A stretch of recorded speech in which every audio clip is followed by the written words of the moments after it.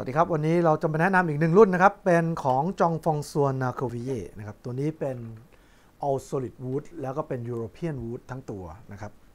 European wood ตัวนี้ของเราจะเป็น Bosnian นะครับ แผ่นหลังสวยงาม เดี๋ยวซูมให้กล้องดูชัดๆบริเวณแผ่นหลังมี flame maple สวยงามนะครับ แผ่นหน้าก็เป็น Bosnian Spruce แล้วก็หย่องก็ใช้เป็น Aubertนะครับ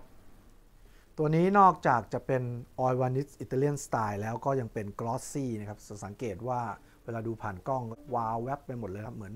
สีรถยนต์นะเวลาสะท้อนแสง แต่ glossy ก็มีความสวยงาม แต่ว่า